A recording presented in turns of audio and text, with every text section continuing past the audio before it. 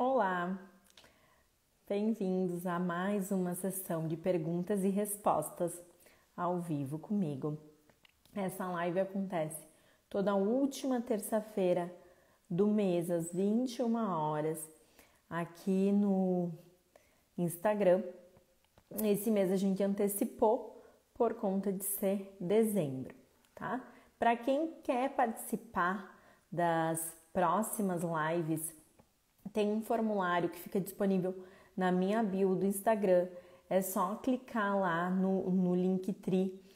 Vai, ter, vai abrir um link para participar das próximas lives. Preencha esse formulário que todo mês alguém da minha equipe entra em contato e convida para participar, tá?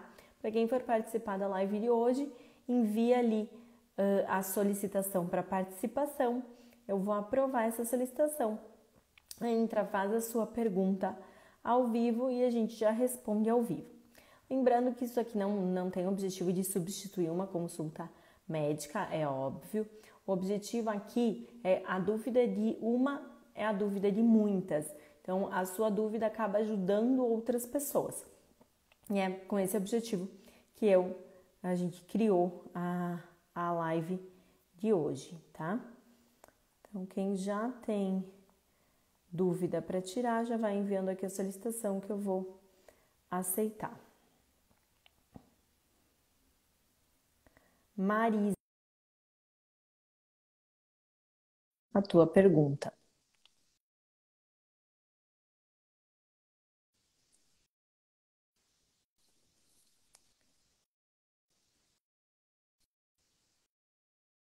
Marisa, acho que deu um probleminha no, com ela. Rosilda. Já aceitei aqui, é só entrar e fazer a tua pergunta. Tudo bem? bem? Boa noite. Boa noite. Me fala o teu nome e da onde que é tu está falando. Eu estou falando é, de São Luís Montes Velhos, Goiás. Ah, e qual que é a sua a dúvida? Minha dúvida, doutora, é, eu tive câncer há 11 anos atrás, câncer de, de colo de útero. E fiz todo o tratamento né, possível. E quando foi agora em 2019, eu passei por uma cirurgia de colpectomia. É. E até atualmente eu não tenho um companheiro, né? É, e foi em 2000 22, no início, bem no início, eu conheci uma pessoa maravilhosa na minha vida e tal. E aí, é, com esse procedimento que foi feito, eu não sabia, assim, que era a, a, o resultado total dele, né?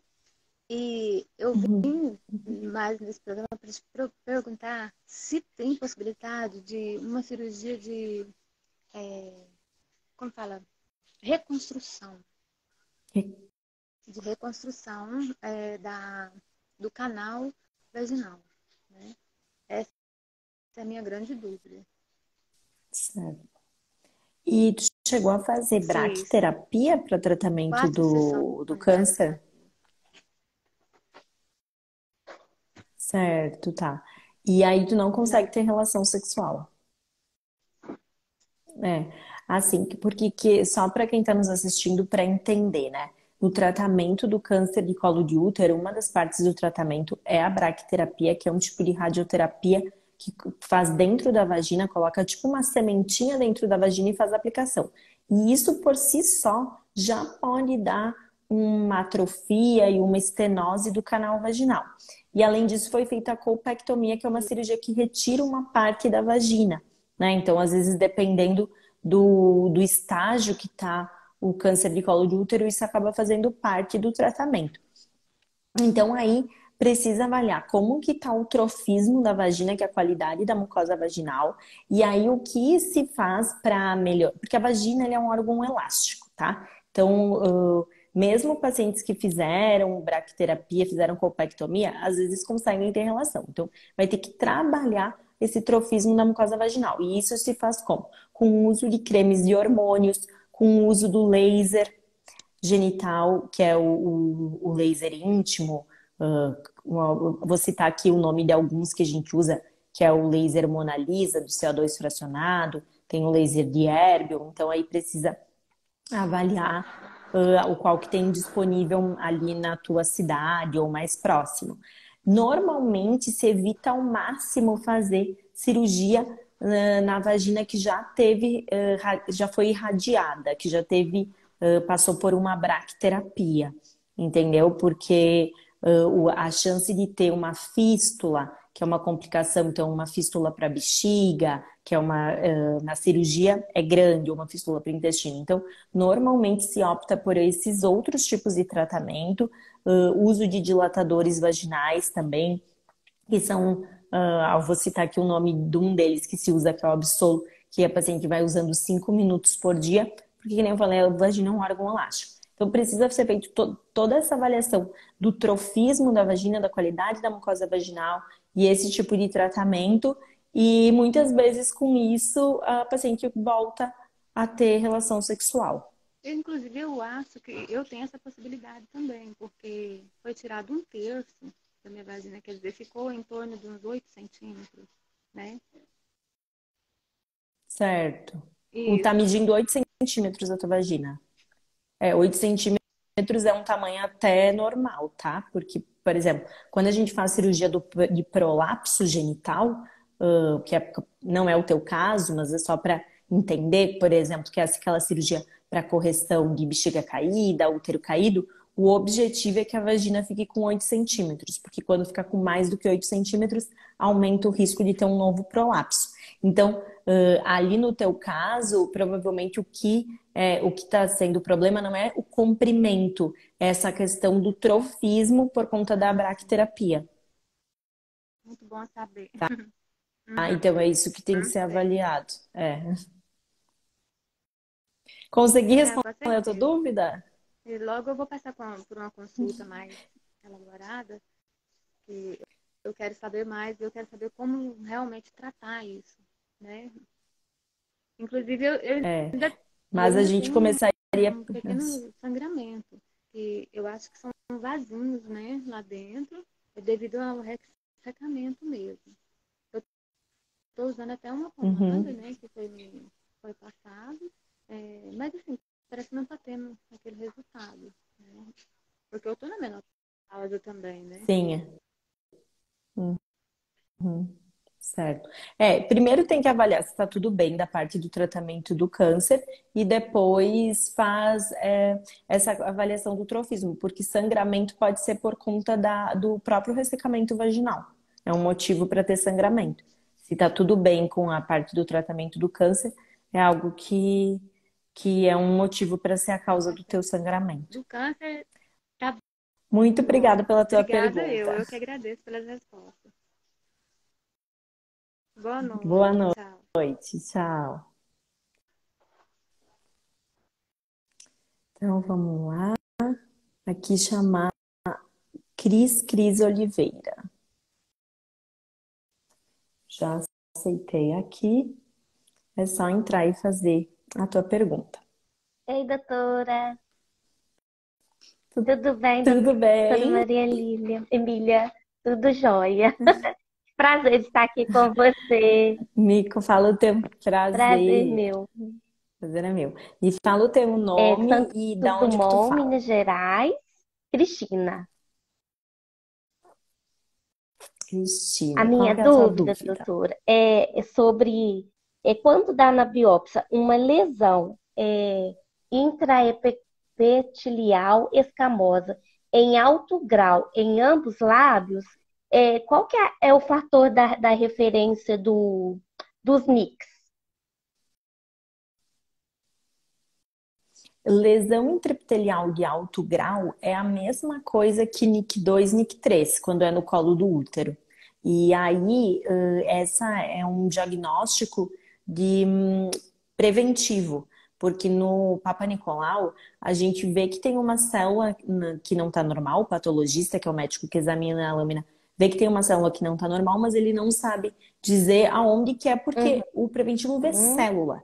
O, o onde vai procurar essa célula no exame da colposcopia, que é aquele exame que a gente olha o colo do útero com uma lente de aumento, tem olha o colo, vagina e vai olhar a vulva também, que é na vulvoscopia.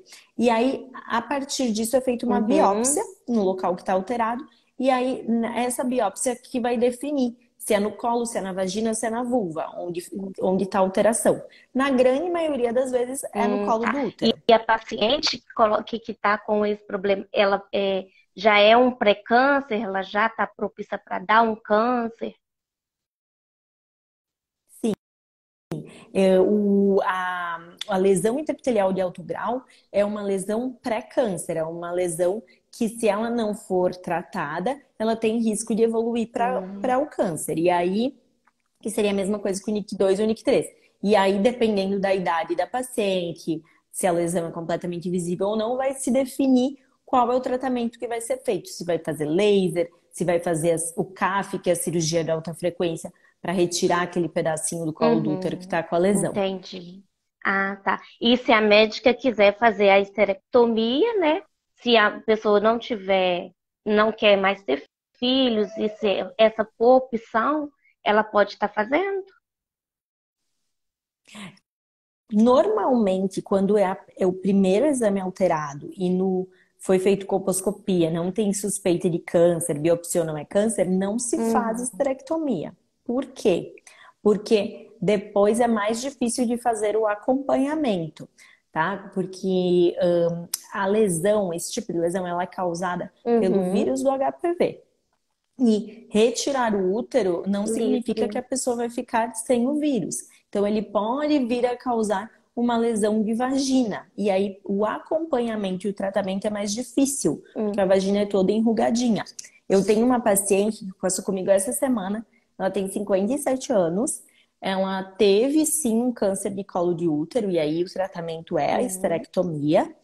E fez a retirada do útero, das trompas, ovários, enfim.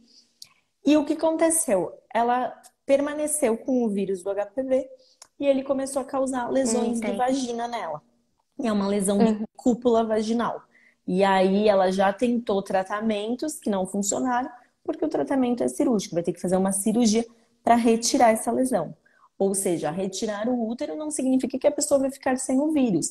E, e por isso que se evita fazer esse tipo de tratamento uhum. quando ele não é necessário. No caso da lesão de alto grau, o tratamento recomendado é uh, a cirurgia de alta frequência, tá? A menos que seja uma paciente jovem, menos de 25 anos, uma lesão uhum. completamente visível que a gente uhum. faz laser para isso, mas senão, em geral, é feito a cirurgia de alta frequência ah. por conta então, disso tá que eu expliquei. Tá bom. Foi tirada a minha dúvida, doutora. Bom. Muito obrigada, tá? Boa noite, um obrigada. abraço. Obrigada eu. Tchau, tchau. Um abraço, tchau. Vamos lá aqui, Larissa Mota. Sua vez, Larissa. Só fazer a tua perguntinha.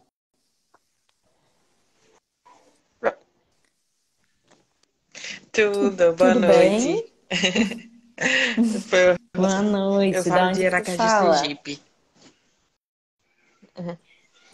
Qual então, é doutora, é, eu tenho 25 anos, certo? É, desde quando eu tive minha bebê, eu sinto dores após urinar, sabe? E fico com sensação de sempre que minha bexiga tá cheia e só que daí eu fiz já vários exames é, de, urocultura, de urocultura para saber se era alguma bactéria.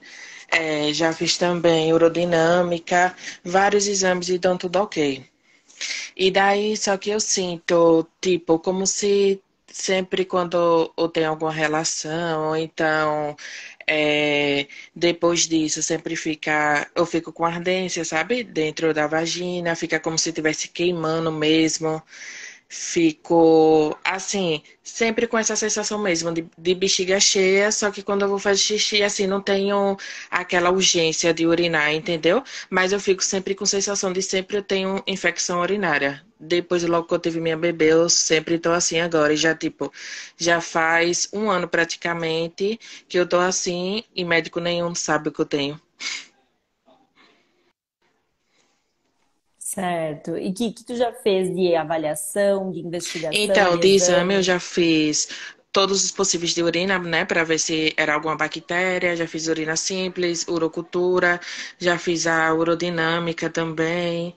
É, já fiz pesquisa de DSTs, né, para ver se não era alguma, algum DST que estava provocando isso, mas não, não tem nada disso. Eu já tive antes, quando eu fiz o exame de sangue para saber se eu tinha alguma coisa, já teve o positivo para clamídia, só que a médica disse que agora eu não tenho mais. Já tive, mas agora não tenho. Certo. É, uma. E no, o teu parto foi tudo certinho? Foi tudo Não, bem? foi parto parto normal foi cesárea. cesárea? Depois eu tive algumas complicações, porque é, abriu meu corte, né? Aí eu tive que ir na maternidade novamente, só que eles disseram que não iria fechar e queria fechar naturalmente. Eu fiquei fazendo curativo em casa, essas coisas assim. Sim. Quando tem sintomas de infecção urinária e não dá infecção urinária nos exames, uma coisa que a gente pensa é em síndrome da bexiga dolorosa, ah, ou cistite intersticial, que é uma síndrome que dá dor, dor, ah, a dor normalmente alivia quando urina e ela é tratada de uma forma diferente, porque o problema não é que a pessoa está com uma infecção, ela está com uma alteração da sensibilidade Uhum. da bexiga. Não, isso é uma das coisas que precisa ser investigada no teu caso, tá? Claro, tem que ver se tá tudo, se não teve nenhum problema na cirurgia, na, na cesárea, bi- na lesão de bexiga, alguma coisa nesse sentido, porque é muito, foi bem pontual, foi logo, logo depois Isso. do parto, né? Mas excluindo eh, essas causas que são anatômicas, que, é- que seria, que justificaria, a gente pensa em síndrome da bexiga dolorosa. E tem uma live minha, se tu quiser assistir só sobre isso, eu falo sobre o tratamento também da síndrome da bexiga dolorosa, mas eu vou comentar aqui rapidamente o que se faz. Tem algumas medicações que a gente usa, como amitriptilina, ixizine, ãh, e casos que não respondem ao tratamento, o que a gente faz é a aplicação de toxina botulínica dentro da, da bexiga, que é o mesmo botox que faz no rosto dentro da bexiga. Então, isso é algo para se considerar aí na, na tua avaliação, porque pode ser isso que está eu já assisti já essa live da senhora, porque como eu sigo, né? Eu já assisti sim tudo. Mas uma das principais Aham. características, como é, você mencionou aí mesmo, é dor ao enchimento vesical, né? Porque a gente sente a dor, né? Quando enche e alivia parcialmente. Mas assim, eu não tenho dor. Entendeu? Até é, eu vi também alguns pontos que poderia ter em relação a quem tem depressão, ansiedade, né? Poderia ter maior risco de ter isso, né? Eu vi também em alguns pontos dessa live. Porém, assim, eu não sinto dor, enchimento vesical, sabe? Eu não tenho aquela urgência de sempre estar urinando e em momento também nenhum eu acordo à noite para urinar, entendeu? O que, o que está te O incomodando, principal? principal é essa sensação de como minha bexiga tá cheia e quando eu vou ao banheiro, aí não dói durante é, fazer xixi, entendeu? Eu faço xixi normalmente, né? Aquele xixi longo e tudo, mas o pós que fica doendo, sabe? Fica, não é uma dor, entendeu? Mas é aquele incômodo que você sente quando estivesse cheia ainda. É, porque assim, não necessariamente tem que ter todos os sintomas para a pessoa ter o, a Uhum. síndrome, né? É claro, é um diagnóstico de exclusão, tem que investigar outras causas para isso, como tu investigou, infecção urinária, doenças sexualmente transmissíveis, a própria clamídia é algo que pode dar sintomas de alteração mesmo da urina, às vezes tem, tem um exame de pesquisa de clamídia na Uhum. urina. Ah, causas anatômicas, que seria que nem algum problema que tem, deu na tua cirurgia da cesárea, então vê se tá tudo certinho na bexiga. Mas excluindo tudo isso, a gente pensa em síndrome da bexiga dolorosa e, e não necessariamente vai ter que ter Uhum. todos os comemorativos, todos os sintomas da síndrome. Eu tenho uma paciente do consultório que a- o, o que ela tem é noctúria, ela acorda à noite para urinar muitas vezes. E aí tem eh, alguns alimentos que desencadeiam mais sintomas. Então, é, essa minha paciente, por exemplo, ela nota que quando ela come chocolate, quando ela toma vinho, ela tem, às vezes, acorda cinco vezes à noite para urinar. E ela não tem tanto desconforto dessa, da, do, de urgência, urinar várias vezes por dia durante o dia. É mais Sim. à noite. Então, não necessariamente tem que ter todos os sintomas para fechar um, o diagnóstico. Sim, entendi. Entendeu? Entendi, sim. No caso, é uma doença de exclusão, né? Tem que excluir várias outras possibilidades para chegar, não é isso? É. Certo. Isso. Claro, tem que fazer uma avaliação uhum. mais completa, né? Mas, assim, uma das coisas para se pensar é tá nisso. Tá certo. Por nada, obrigada. Obrigada pela tchau. sua participação. Tchau. Então, vamos lá. Aqui, vou chamar agora Francine Carla. Vamos lá.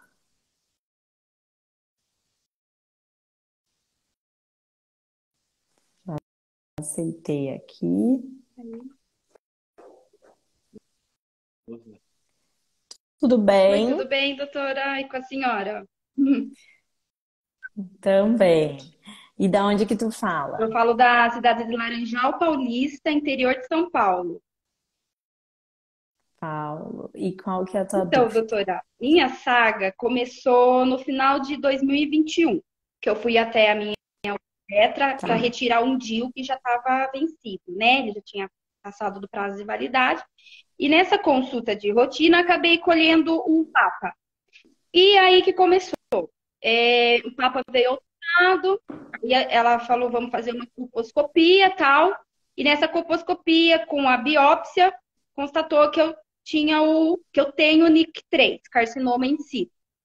E, e aí ela fez a CAF no consultório dela, veio que é, veio estava com o NIC3 carcinoma in situ e margens comprometidas. Aí ela me questionou se eu, eh, se eu teria mais, eh, se eu teria desejo de ter filhos novamente, que eu tenho uma filha, né?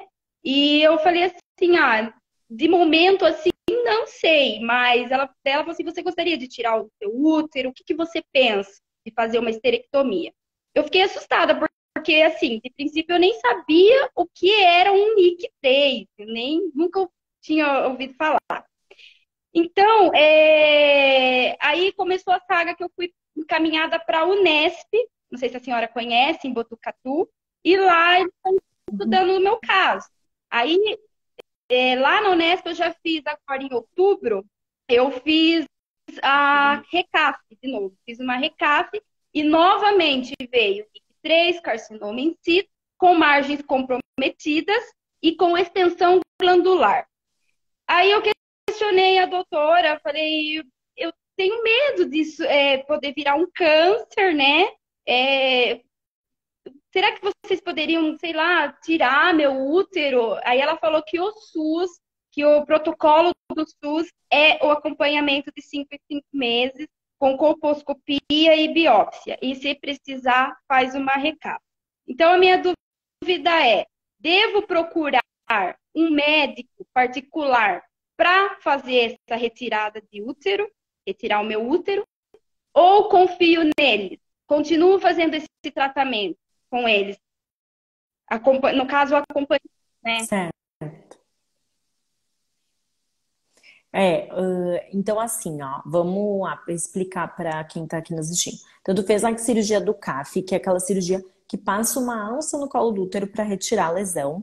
E aí a gente faz a avaliação da, do que se chama de margens. As margens endocervicais e as margens ectocervicais. As margens endocervicais são as para dentro do útero. Essas são as mais importantes. E as margens ectocervicais são as que são voltadas para a vagina.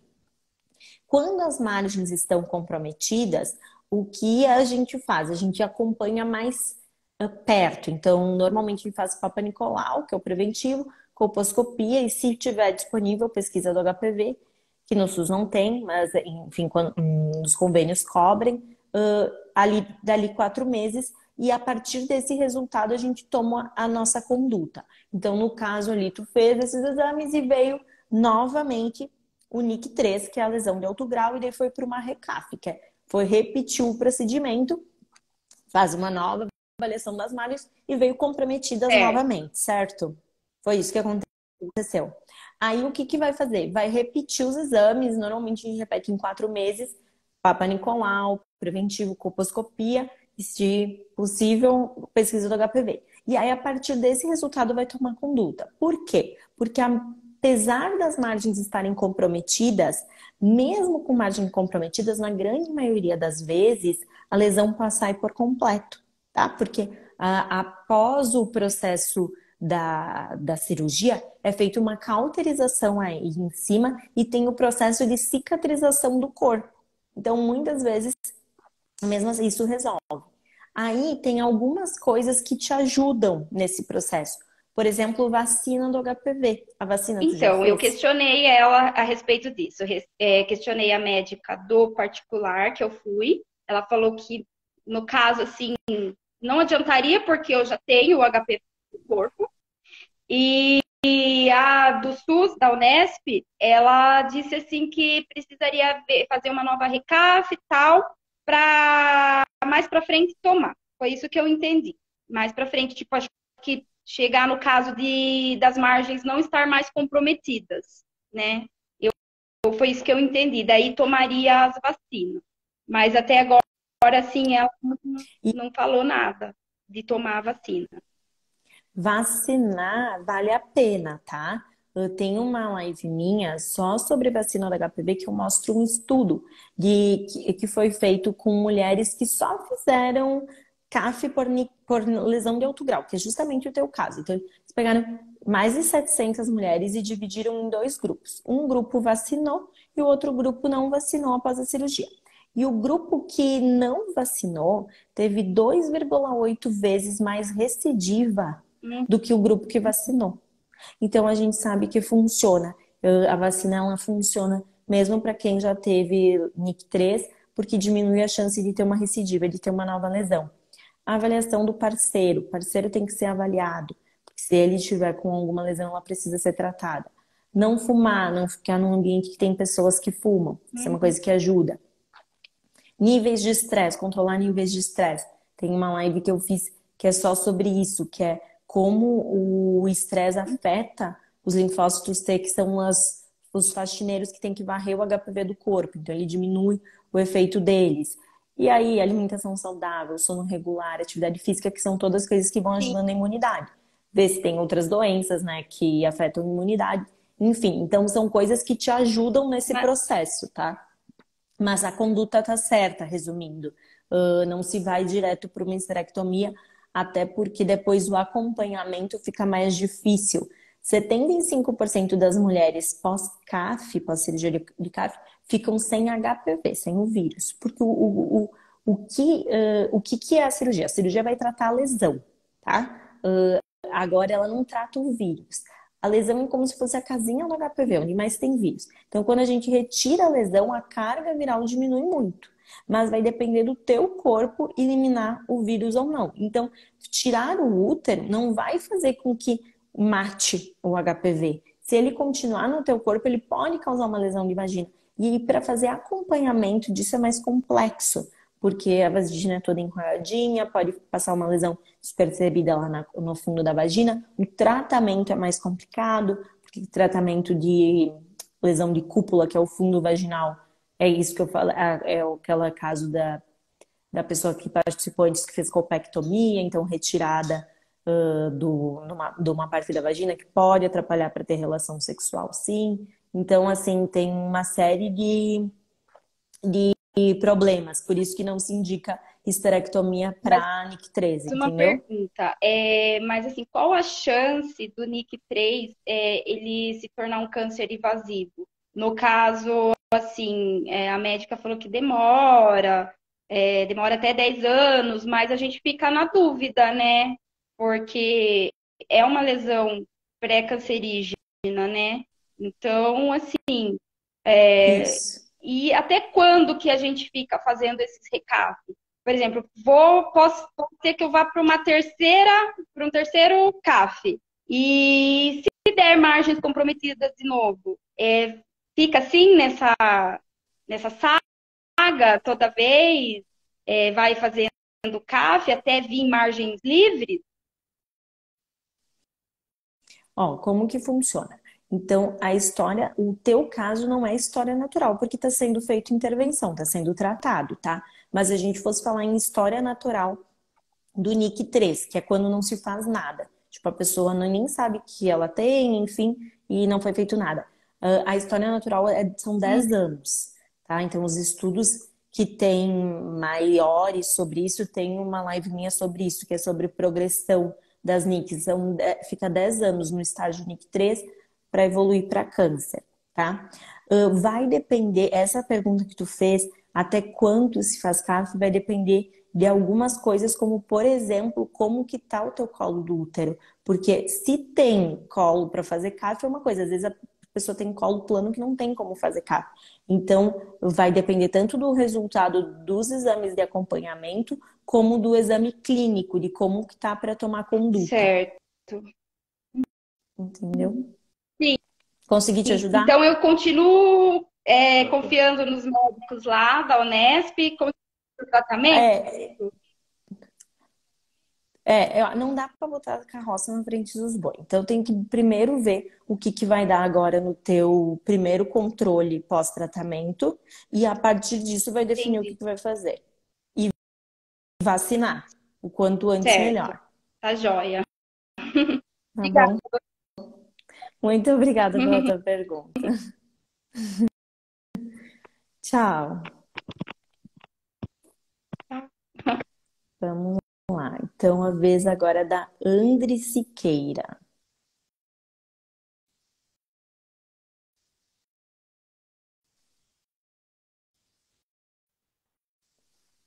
Tudo bem? Tudo bem, Andri? Boa noite. Eu de falo onde que tu de fala? Caçapava do Sul, Rio Grande do Sul. Rio Grande do Sul, gaúcha. Nem eu. Assim, E aí, qual é a tua doutora, A minha dúvida? dúvida é assim, ó, eu não fazia preventiva há mais ou menos um ano e meio. Aí eu fiz o preventivo e deu uma alteração. Eu fiz a colposcopia e na colposcopia a doutora já fez a biópsia. Né? Na biópsia apareceram três lesões, tá? Eu tenho NIC 3. Daí eu tô, eu já fiz a vacina do HPV, né? São três doses. Eu já fiz a primeira, estou esperando o intervalo de dois meses para fazer a segunda. E estou esperando a conização, a cirurgia de conização. Estou aguardando me chamarem para me dizer. E eu tenho duas dúvidas, na verdade. Uma delas é, uh, o, eu faço tratamento hormonal, né? Eu uso anticoncepcional faz um bom tempo. Uh, o anticoncepcional, ele, ele funciona de, de combustível, não para o HPV em si, mas para as lesões que o HPV causa? Sim, tá? Uh, tem, uh, os, tem estudo, tem uma live minha só sobre isso, sobre HPV anticoncepcional. 10 anos de uso de anticoncepcional aumenta em 124% o risco de câncer de colo de útero. Então, ele é um fator de risco quando associado com uma infecção por HPV. Então, normalmente, o que a gente faz é pós-tratamento uh, trocar, substituir esse anticoncepcional por um DIU, por exemplo. Porque o DIU tem a vantagem que ele aumenta a imunidade local e ele ajuda no processo de eliminação do vírus do HPV. Tem uma live que eu fiz só sobre isso também, sobre HPV e DIU, que eu mostro lá estudo comparando ele com preservativo, por exemplo, e ele uh, aumentou em 20% a taxa de eliminação do vírus. Então, sim. Uma dúvida que eu tinha. E a outra dúvida que eu tenho, que surgiu, assim, conversando com outras pessoas, é após a conização, eu vou, eu vou menstruar normalmente? Eu já não estou menstruando normalmente. Eu não sei se já é por causa desse problema. Tipo, na pausa, né, do anticoncepcional, não desce. E após a conização, como é que fica a princípio? É para mim menstruar? Eu não menstruo? É normal, porque o, a, a cirurgia do, seja do CAF, da colonização, uh, ela não afeta, não mexe em nada hormonal. Então, vai ser o que é o teu ciclo. Se tu for uma pessoa regulada que menstrua, tu vai ficar regulada menstruando. Se for uma pessoa que não é regulada e não menstrua, não vai menstruar. Então, a, a cirurgia não afeta nada do ponto de vista hormonal. Então, no pós-operatório imediato, ali os primeiros 30 dias, pode ter um sangramento que ele tende a ir diminuindo e alterar ali, quando vai menstruar, fica um pouco confuso por conta do sangramento do pós-operatório. Agora, passado esse período inicial, não influencia em quando vai vir a tua menstruação, a, a cirurgia. Muito obrigada pelas, pelos esclarecimentos. Eu gosto muito do teu conteúdo. Muito obrigada pela tua participação, pela tua pergunta. Boa noite. Tchau. Tchau. Boa noite. Então vamos lá. Agora é a vez da Meire.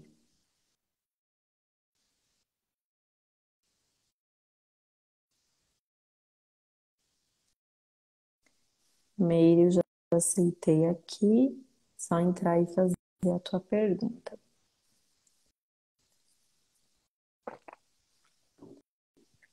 E quem está nos assistindo, o que está achando da live? Está gostando? Tem gente colocando aqui que estava travando. Agora melhorou. Como que tá? Escrevam aqui para mim. Vou chamar aqui Marley.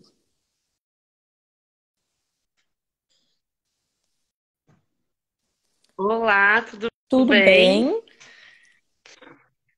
Meu nome Fala o teu nome. Eu falo aqui de São Paulo.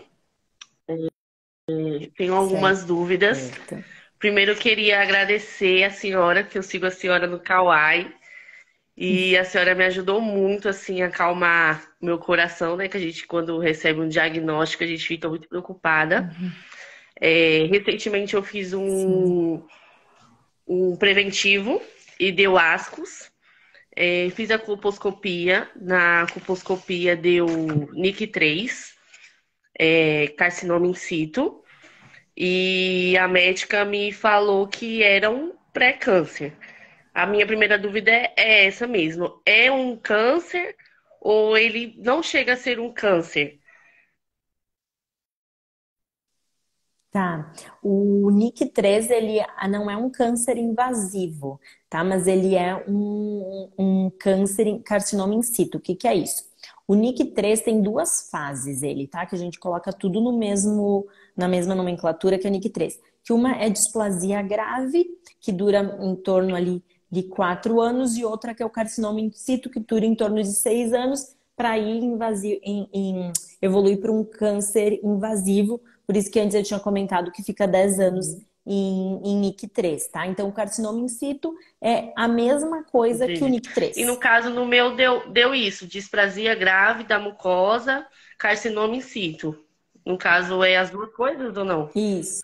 É a mesma coisa. É a mesma coisa, porque é tudo a mesma classificação. Uhum. Então, aí agora eu vou, já, tô, já fiz a, a colposcopia, né? E ela me, é, me encaminhou para fazer a CAF. Então, tô aguardando para fazer.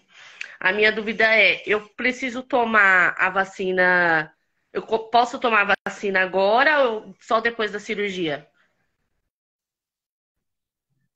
Normalmente a gente opera, faz a cirurgia uhum. e vacina, porque a vacina ela vai, ela não vai servir para essa tua lesão atual, mas ela vai servir para diminuir a chance de recidiva, de diminuir a chance Entendi. de uma nova então, lesão. Então o ideal é fazer após, né? Então normalmente é feito isso.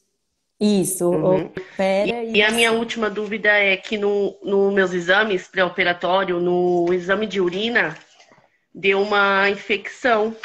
É, deu. Deixa eu ver se eu acho aqui. Pra me te falar o, certinho o nome. Vou separar aqui.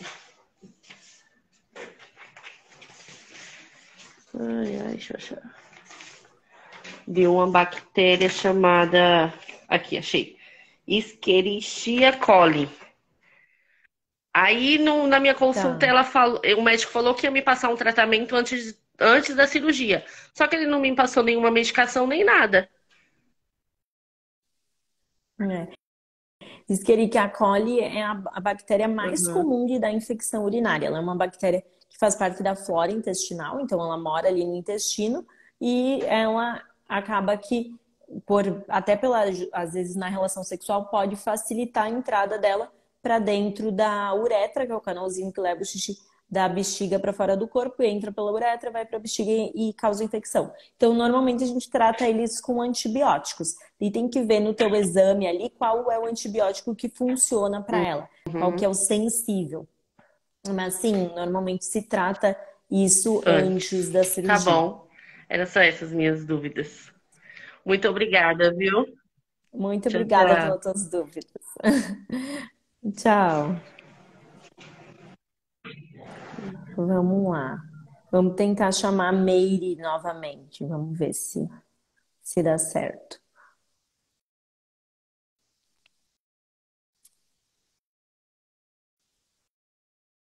Meire, só aceitar. Vou aproveitar aqui enquanto ela vai entrando para comentar. No meu exame deu L-Stil. Posso vacinar sem fazer nenhum tratamento? Pode, Fabiana. O L-Stil é a mesma coisa que lesão de baixo grau, que é a mesma coisa que NIC1 ou NIVA1, NIV1. Um, é aceitável fazer acompanhamento com Papa Nicolau, com preventivo e coposcopia de seis em seis meses por até dois anos de lesão de baixo grau.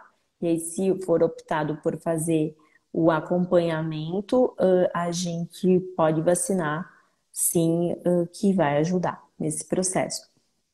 Por que, que eu falo se for optado por fazer o acompanhamento? Porque, às vezes, dependendo do caso, a gente opta por tratar, né? Um dos tratamentos possíveis para lesão de baixo grau, principalmente quando essa lesão está durando ali mais do que dois anos, é fazer laser para destruir essa lesão. Então, o laser é um tratamento que a gente faz no consultório, a gente vai fazer a coposcopia, que é para determinar onde que está a lesão, qual que, se ela é completamente visível, qual que é o tamanho dela, e vai uh, destruir a lesão no, do, durante o procedimento. Vou chamar aqui a Michelle. A Meire não conseguiu entrar. Michelle, já aceitei aqui. Só entrar e fazer a tua pergunta.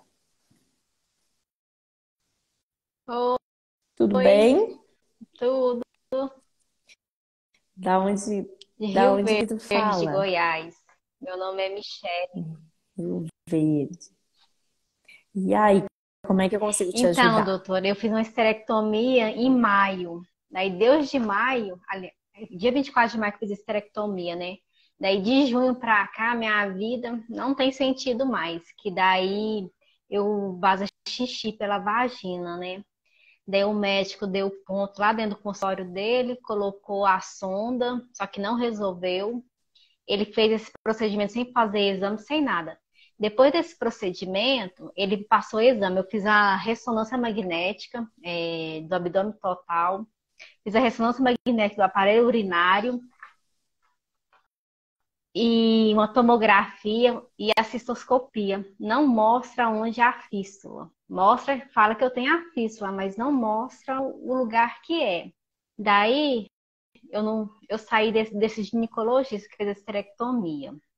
Daí fui por urologista. Daí o urologista fez a, a cistoscopia e, e aquele negócio que enfia a câmera lá dentro da bexiga, dentro do centro cirúrgico, com com, com contra, metaleno, metileno. Azul de uhum, Só que é, eu não tenho vazamento na bexiga. Meu problema pode ser no ureter. É, não tem vazamento. Daí eu tô com o catéter do Projota. Coloquei o catéter do Projota dia, dia 15 de agosto, né? Daí fiquei 20 dias. Daí tirei, o xixi diminuiu.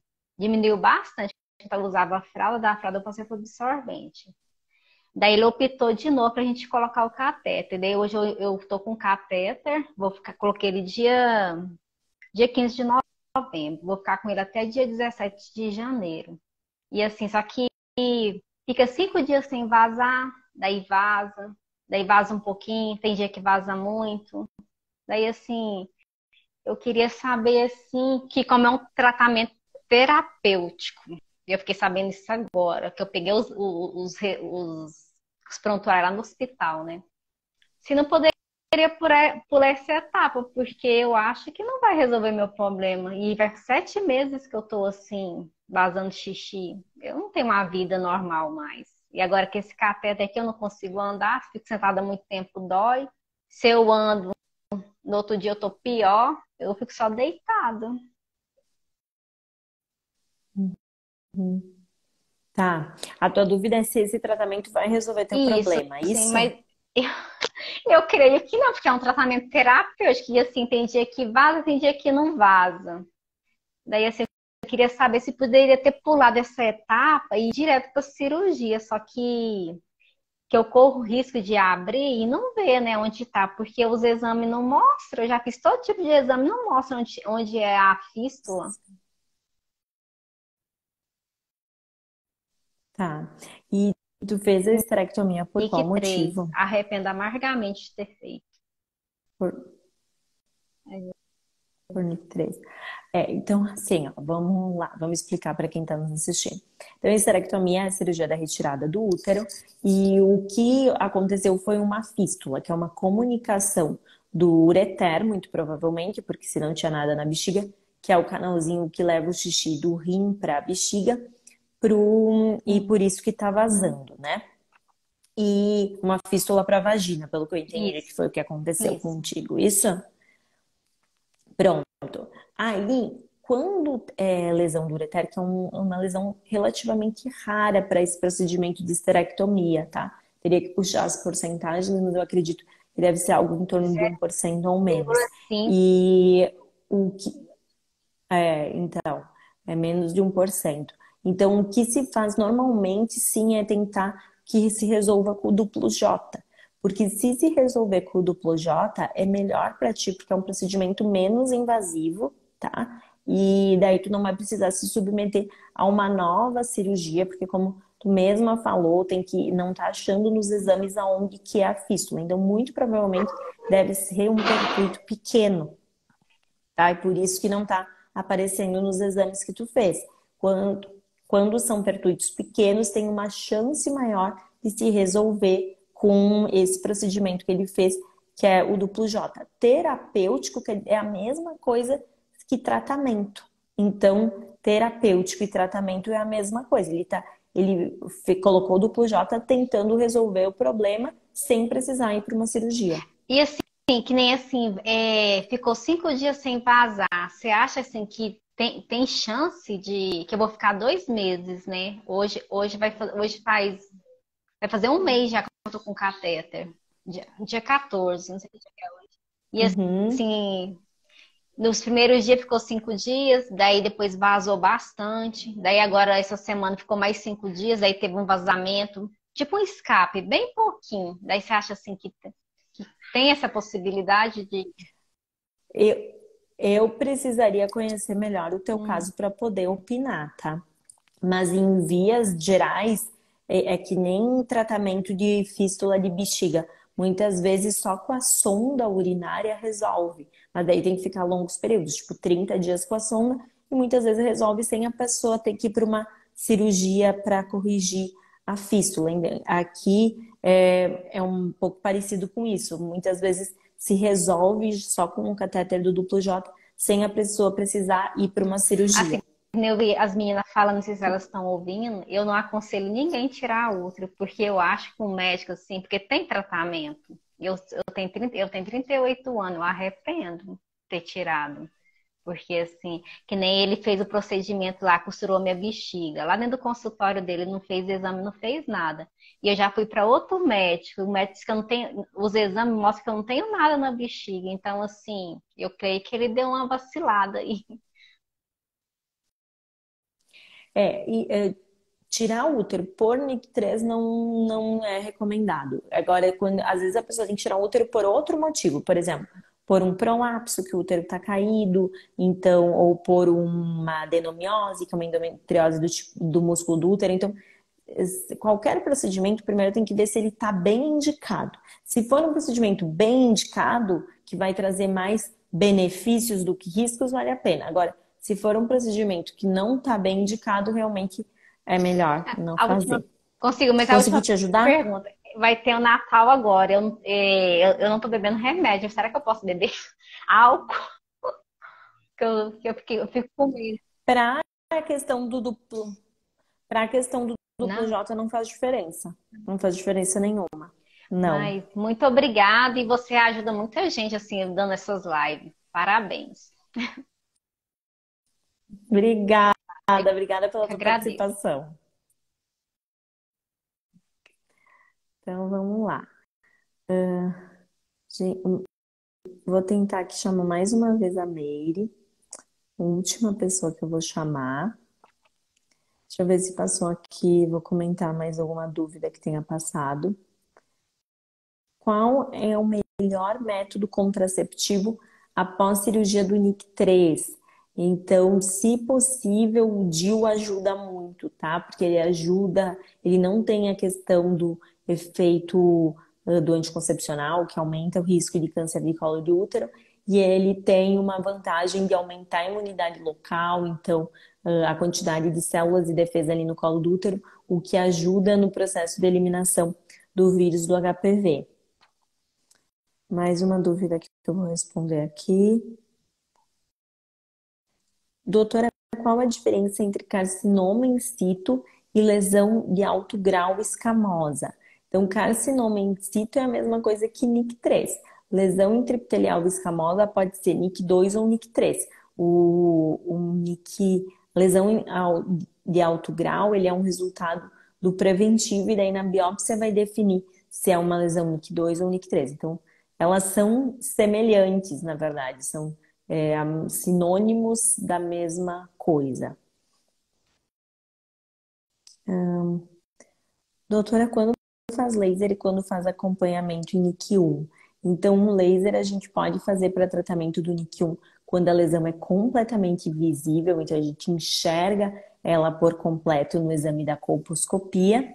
E aí, depois de fazer o tratamento com laser, vai fazer Papa Nicolau e colposcopia de seis em seis meses por um ano, até ter dois exames negativos.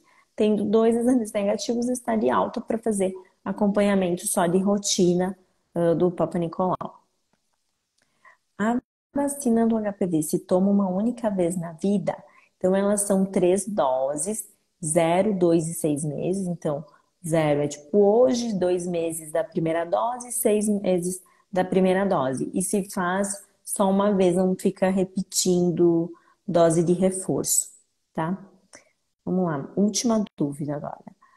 Uh, doutora, ao resultado da minha colonização veio adenocarcinoma endocervical invasivo relacionado com HPV. Estou muito triste.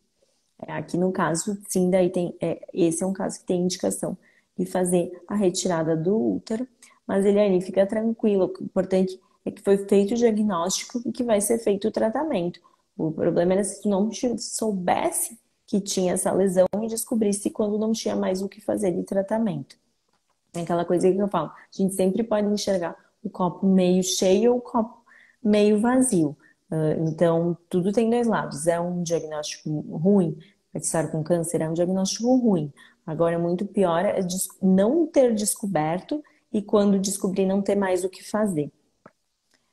Uh, gente, eu acho que era isso. Muito obrigada para quem participou da live de hoje. Para quem quiser participar, vai lá na, na bio do Instagram, clica no Linktree, preenche lá o formulário que a gente convida para participar das próximas lives.